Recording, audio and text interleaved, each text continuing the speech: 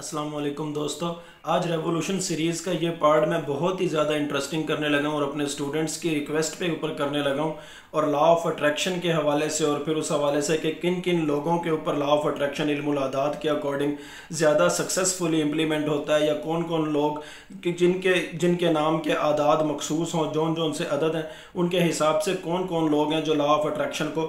Apply कर सकते हैं अपनी ज़ात के ऊपर या सक्सेसफुली उनके साथ इस, इस जो इस लॉ का जो रिलेशन है या को रिलेशन है, वो सक्सेसफुली इम्प्लीमेंट होता हुआ नज़र आता है और फिर इमरान खान के हवाले से कि इमरान खान के ऊपर लॉ ऑफ़ अट्रैक्शन किस हद तक अप्लाई होता है, किस तरह से अप्लाई होता है ख़ास तौर पर जब इमरान खान को इमरान खान कह के बुलाया जाता है तो उस वक्त लॉ ऑफ़ अट्रैक्शन का कौन सा प्रिंसिपल उनके ऊपर फुलफ़िल होता हुआ नज़र आता है और जब तनकीदी अंदाज में इमरान खान को इमरान न्याजी कहकर बुलाया जाता है तो उसके असरात इमरान खान की पर्सनैलिटी पर या उनके फ्यूचर पर या उनके लाइफ गोल्स के ऊपर क्या होते हैं। तो सबसे पहले जब शुरू करते हैं तो लॉ ऑफ़ अट्रैक्शन के हवाले से जब हम बात करते हैं कि लॉ ऑफ़ अट्रैक्शन होता क्या टू अट्रैक्ट पॉजिटिव और नेगेटिव गोल्स और थिंग्स थ्रू पॉजिटिव और negative experience in our life दुनिया में जितने भी मजाहब हैं, तमाम तर मजाहब के अंदर लॉ ऑफ़ अट्रैक्शन पर किसी न किसी अंदाज से बात की गई है। फॉर एग्जांपल इस्लाम के हवाले से बात करें तो सूरत तलाक की जो दूसरी आयत है, उसका आखिरी पार्ट और थर्ड आयत जो है, उस हवाले से हम अक्सर इसको तिलावत भी करते हैं, तस्बीहात में भी शामिल करते हैं। वमा यतल्ला यजा मखरजा। ये जो भी आयत हम पढ़ते हैं, इसका मफहम यह कि और जो कोई अल्लाह ताला से डरता है, अल्लाह उसके लिए निकलने का रास्ता बना देता है और उसे ऐसी जगह से रिस्क देता है, जहाँ से उसे गुमान भी नहीं होता और जो भी अल्लाह पर भरोसा करता है तो अल्लाह ताला उसके लिए काफ़ी हो जाते हैं। इसी तरह सूर्य आल इमरान की वन थर्टी नाइन आयत है तो ना कमज़ोर पढ़ो और ना गम करो और तुम ही गालिब रहोगे अगर तुम मोमिन हो। ये दोनों आयतें अल्लाह ताला के ऊपर तवक्ल करने के हवाले से पॉजिटिव सोचने के हवाले से पॉजिटिव थिंकिंग के हवाले से इस्तदलाल करती हैं। और फिर सूरह सूरह शुरा की आयत नंबर थर्टी जो है, और जो भी तुम्हें मुसीबत पहुँचती है, वो तुम्हारे अपने हाथों की कमाई का नतीजा और अल्लाह बहुत सी बातों से दरगुजर फरमाता है। इसी तरह सही बुखारी में एक हदीस कुदसी है seven four zero five number, कि मैं अपने बंदे के गुमान के मुताबिक हूँ, यानी उसकी असम्पशन उसके थिंकिंग के मुताबिक हूँ, उसकी विजुअलाइजेशन के मुताबिक हूँ। अगर वो मुझसे अच्छा गुमान करता है तो मैं उसके साथ वैसा ही करता हूँ, और अगर वो मेरे साथ बुरा गुमान करता है तो मैं उसके साथ वैसा ही करता हूँ। इसी तरह इमाम जाफ़र सादिक का फरमान भी है कि अल्लाह ताला के बंदों के लिए अल्लाह ताला के बारे में अच्छा गुमान रखना ज़रूरी है, क्योंकि अल्लाह के बारे में अच्छा गुमान रखने वाला कभी भी नुकसान नहीं उठाता। और यहाँ पर सहीफ़ा सजादिया से इमाम जैनलाबिदीन का भी एक कॉल लिया गया कि अल्लाह ताला से जो तुम्हें उम्मीद है, वही तुम्हारे नसीब में आता है और अल्लाह ताला से अच्छे की उम्मीद रखा करो। अब दीगर मजाहिब की भी बात की जाए तो अगर गीता की बात की जाए, गीता का जो चैप्टर नंबर नाइन है, उसकी आयत नंबर बाईस, जो लोग मुसलसल मेरे बारे में सोचते हैं और अपनी तमाम तर ज़रूरियात के लिए मुझ पर इन्हासार करते हैं, उनकी ज़रूरतें पूरी करने का मैं वादा करता हूँ। इस इसी तरह गौतम बुद्ध का कौल है कि जो हम सोचते हैं, हम वही बन जाते हैं और जो सोच हम अपने दिमाग में रखते हैं, हमारे अमाल और हमारे अल्फाज भी वही बन जाते हैं। और गौतम बुद्ध का ये कौल कौल है कि इंसान का दिमाग ही उसका खुदा है। इसी तरह सिखों की जो गुरु ग्रंथ साहब बुक है, उसके अंदर भी लिखा हुआ है कि वाहे गुरु, यानी खुदा के नाम पर भरोसा करो और तुम्हारे तमाम खौफ दूर हो जाएँगे। अब यहाँ पर लॉ ऑफ़ अट्रैक्शन के अंदर तीन प्रिंसिपल्स होते हैं। नंबर एक मस्बत सोच और यकीन। नंबर दो, शुक्रगुजारी। और नंबर तीन यह है कि हौसला अफजाई के साथ अमल करना, यानी मस्बत यकीन के साथ अमल करना। अगर हम पहले असूल की बात करें तो मस्बत बातों पर और अपनी कामयाबी पर हमें खुद भी यकीन होना चाहिए। हम विजुअलाइज करें अपनी कामयाबी को। ये जो बुद्धिस्ट अक्सर आप इंग्लिश मूवीज़ में भी देखते होंगे कि बुद्धिज़्म के अंदर जो उनके जो मोंग होते हैं, वो मेडिटेशन कर रहे होते हैं, वो बैठे हुए होते हैं, दोनों घुटनों पर हाथ रख कर और वो कुछ सोच रहे होते हैं या मुस्तबिल के बारे में वो क्या कहते हैं विजुअलाइज कर रहे होते हैं कि आने वाले वक्त में क्या हो सकता है, क्या नहीं हो सकता। यानी कि वो इस तरह से कामयाबी को तस्वुर किया जाता है विजुअलाइज किया जाता है कि मैं ये चीज़ हासिल कर रहा हूँ, मैं ये चीज़ मेरे पास आ चुका है या मैंने ये ऑब्जेक्ट ऑब्जेक्टिव हासिल कर लिया या मैं इस गोल को अचीव कर चुका हूँ। और ख़ुद से मस्बत अंदाज में दुआएँ करना कि खुदा हमें ये दे, अल्लाह हमें ये दे और ख़ुद को कहना कि हाँ मैं हासिल कर सकता हूँ आई कैन डू इट इस तरह के फ़िक्रे इस तरह की स्टेटमेंट्स बोलना और अपने आप को अपने दिल में अपने दिमाग में इन सोचों को पुख्ता करना। और नंबर दो ये है कि शुक्रगुजारी शुक्रगुजारी मजीद नियमतों का दरवाज़ा खोल देती है। ये भी तमाम मजाहब दुनिया में जितने भी मजाहिब हैं चाहे फेथ हैं चाहे रिलीजन है चाहे सेक्ट्स हैं सब इसके ऊपर बेस करते हैं। और हर रोज़ अपने ऊपर जो अपने खुद को नियमतें हासिल होती हैं उनके बारे में थोड़ी देर के लिए विजुअलाइज करना उसके बारे में अल्लाह ताला का शुक्र अदा करना। जो भी आपका मज़हब है आपका उस उस, उस अंदाज से आप शुक्र अदा करो। और नंबर तीन पर हौसला अफजाई के साथ अमल कि अपनी ख्वाहिश के मुताबिक मस्बत अमल भी करना किसी चीज़ को हासिल करने के लिए, उसके लिए स्ट्रेटजीज बनाना, उसके अकॉर्डिंग लोगों को मिलना, उस ऑब्जेक्टिव के हसूल के लिए, उससे मुतलका लोगों को मिलना, उससे मुतलका काम करना, उससे मुतलका ऑब्जेक्ट ऑब्जेक्टिव हासिल करने के लिए कोशिश करना। अब यहाँ पर कुछ क्रिटिसिज्म भी होता है कि लॉ ऑफ़ अट्रैक्शन से मुराद अगर हम विजुअलाइज करके कोई चीज़ हासिल कर सकते हैं तो फॉर एग्ज़ाम्पल मैं तो विजुअलाइज करूँ कि मेरी गाड़ी हवा में उड़ने लग जाए, लेकिन एक चीज़ के अंदर वो सिफ्त ही नहीं, वो एक्ट ही नहीं, वो उसके अंदर वो खसूसियत ही नहीं तो वो कैसे उड़ सकती है। तो विजुअलाइज भी हमेशा पॉजिटिव थिंकिंग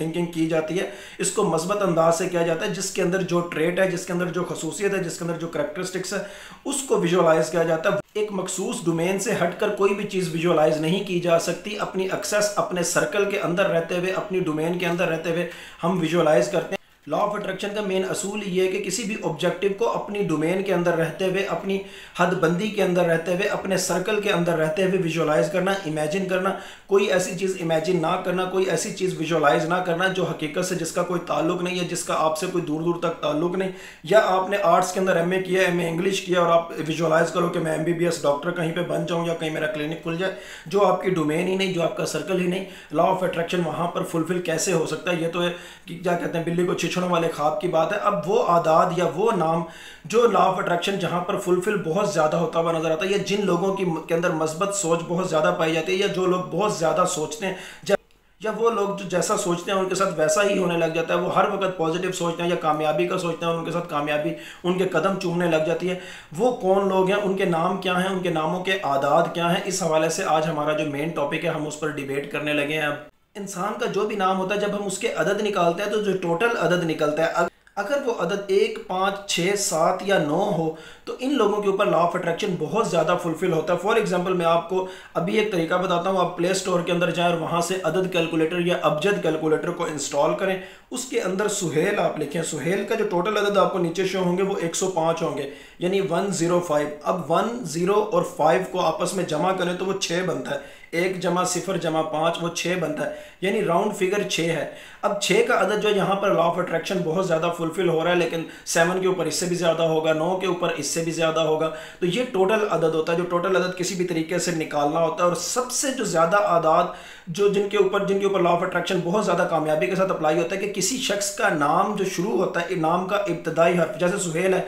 ये सीन से शुरू हो रहा है, और सीन का हर्फ जो अदद जो है, वो छः बनता है। इसी तरह जिसके नाम का इब्तदाई हर्फ भी, उसका अदद जो है, एक, पाँच छः सात या नौ हो, और टोटल अदद जो है वो भी एक, पाँच छः सात या नौ हो तो यहाँ पर वो लोग जो जैसी विश करते हैं, जैसी स्ट्रेटजीज अपनाते हैं तो उनकी यूजली बहुत ज़्यादा सक्सेसफुल स्ट्रेटजीज होती हैं। या वो कामयाबी के साथ अपने टारगेट्स अचीव कर लेते हैं, या उनके अंदर मस्बतपन बहुत ज़्यादा होता है, या उनको मददगार, या उनको साथी, या उनको हेल्प करने वाले बहुत ज़्यादा मिल जाते हैं। अब बाकी आदाद के हवाले से बात करें तो जो बाकी आदाद या टोटल जो राउंड फिगर बचते हैं, कि दो, तीन, चार और आठ, नाम के इब्तदाई अदद से इतना ज़्यादा असर नहीं होता, जितना टोटल अदद से ज़्यादा असर होता है। अगर नाम का टोटल अदद आपका दो बन रहा है या तीन बन रहा है या चार बन रहा है या आठ बन रहा है तो उस हवाले से मैं आपको बता दूँ कि वहाँ पर लॉ ऑफ़ अट्रैक्शन क्यों नहीं काम करता। दो के अदद वाला बंदा चाहे जितनी मर्ज़ी कामयाबी भी मिल जाए, वो हर वक्त कन्फ्यूज़ रहता है, दो कश्तियों का सवार रहता है कि मैं ये कर लेता तो मैं ज़्यादा अच्छा रिज़ल्ट मुझे मिल जाता या ये कर लेता तो शायद ज़्यादा नफ़ा मिल जाता या ज़्यादा कामयाब हो जाता और वो अपनी कन्फ्यूज़न की वजह से हमेशा मार खाता है।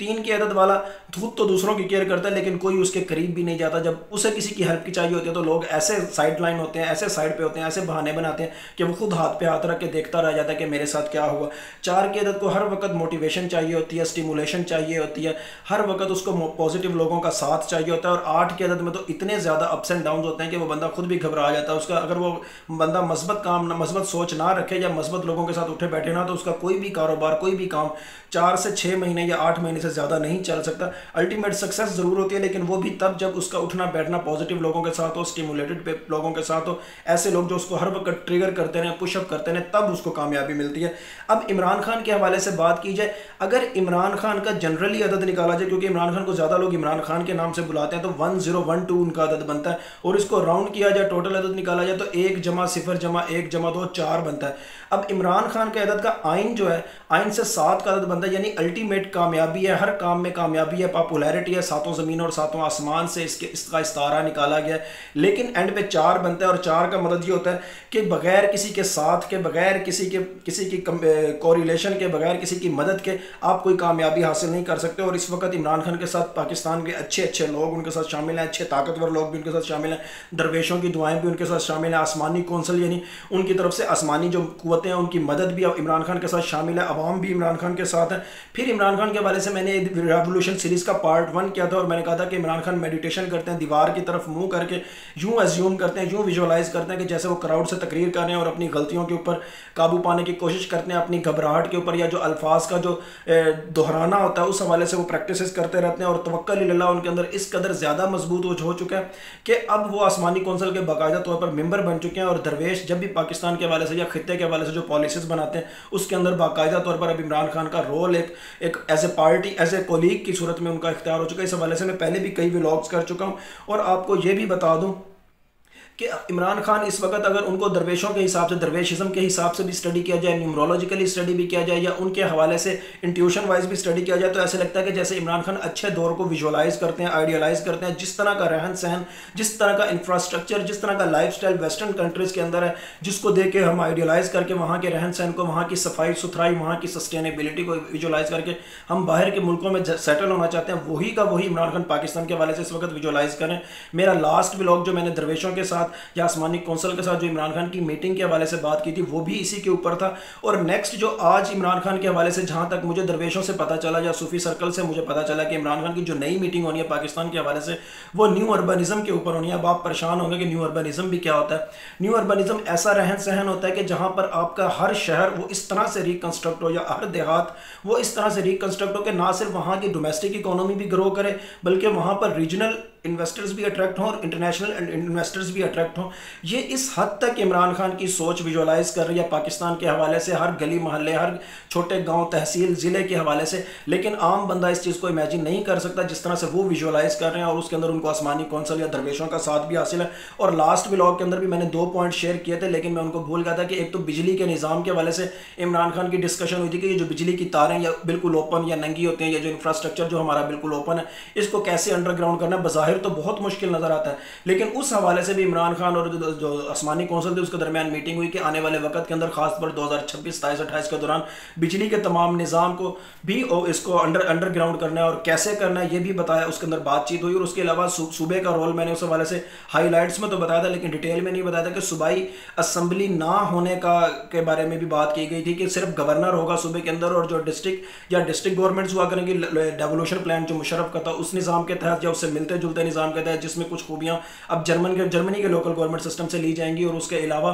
ये कि फेडरल या सेंट्रल गवर्नमेंट और डिस्ट्रिक्ट गवर्नमेंट के दरमियान जो गवर्नर होगा, सूबाई, वो सिर्फ़ सिर्फ़ ब्रिज का रोल प्ले करेगा। इससे ज़्यादा सूबाई सूबों की कोई ज़्यादा इससे ज़्यादा कोई उससे ज़्यादा कोई रोल नहीं होगा और सूबे जो है वो लिमिटेड अटोनॉमी के साथ होंगे। और उसके अलावा ये कि कुछ लोग जो इमरान खान को इमरान न्याजी कहा, कहते हैं, बज़ाहिर तो बड़ा उसको क्रिटिसाइज़ करके कहते हैं जनरल न्याजी के साथ उसको तशबी देने के लिए, जो उन्होंने उन्नीस में जो जनरल न्याजी का रोल है। लेकिन अगर आपको इमरान न्याजी की आदत बताऊँ four three nine Imran Niazi की आदत बनते हैं और जिसका राउंड फिगर सेवन बनता है और सात ज़मीनें और सात आसमान के बकदर, उस इस्तारे के बकदर, ये नाम इमरान खान को मज़ीद ताकत देता है, मज़ीद कुत देता है, मज़ीद कामयाबी देता है। जब इस नाम से इमरान खान को बुलाया जाता है तो इसके साउंड से जो इनर्जीज़ या फ्रिक्वेंसीज जो ओरिजिनेट होती हैं, वो ज़्यादा इमरान खान को कामयाबी की तरफ़ लेके जाती हैं सक्सेस की तरफ़ लेके जाती हैं पॉपुलैरिटी की तरफ़ लेके जाती हैं। तो जो इमरान खान को इमरान न्याजी कह के समझते हैं कि हम उनको शायद तनकीद कर रहे हैं या उसको क्रिटिसाइज़ कर उनको ये नहीं पता कि वो ऐसी फ्रीक्वेंसीज जनरेट कर रहे हैं कि जिससे इमरान खान के अंदर अंदर मजीद स्टिमुलेशन पैदा हो रही है, मजीद उनके अंदर एनर्जी पैदा हो रही है और उनके फॉलोअर्स मजीद बढ़ते जा रहे हैं। ये इल्मुल आदात के अकॉर्डिंग मैं आपको बता रहा हूँ। एक, क्या कहते हैं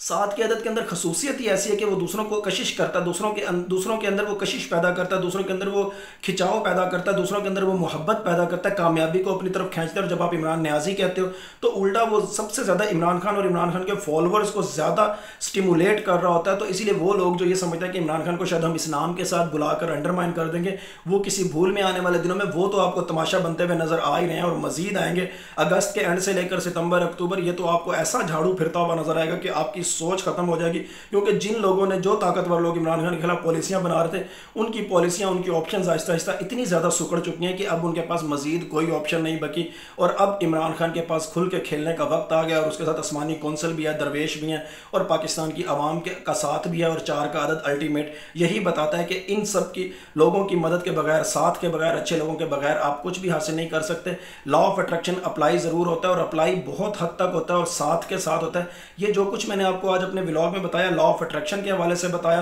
पॉजिटिविटी के हवाले से बताया तवक्ल के हवाले से बताया, अल्लाह ताला चाहे तो ये सब कुछ हो, अल्लाह ताला चाहे तो कुछ भी ना हो, अल्लाह ताला चाहे तो कुछ हो और कुछ ना हो बिलाशुबा गैब का इलम सिर्फ़ और सिर्फ़ अल्लाह ताला की ज़ात को। Thank you so much